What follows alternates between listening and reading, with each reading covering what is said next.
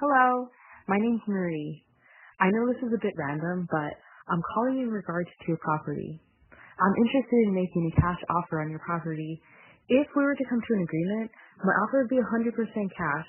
I would buy the property in as-is condition, and I would even pay for all of the closing costs. If you're interested, please give me a call back as soon as you get this message. If not, that's okay. Please just disregard this message. Have a great day. Bye.